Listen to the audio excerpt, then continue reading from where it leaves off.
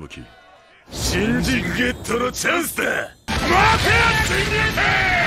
やとにかく俺たちの話を聞くんだ。のが常識だ。あなた方は野球拳以外のじゃんけんを知らないんですか？そんなもの目を見ればわかるさ。そうですか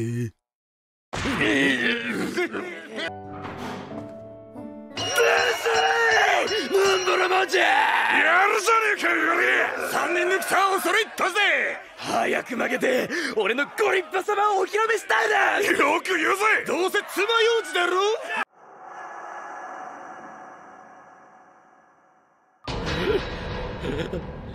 杯をホースと書いて乾杯とや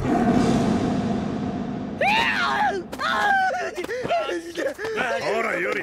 きちんと乾杯をしないとダメだぜ杯。をホースと書いて乾杯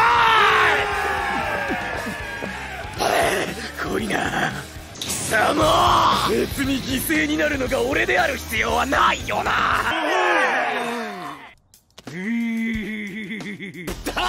よっしゃお前も飲んでもらうぞ。やってくれるじゃねえか。貴様こそな。こうな。れとことんやってやら白黒はっきりさせてやる！いいじゃね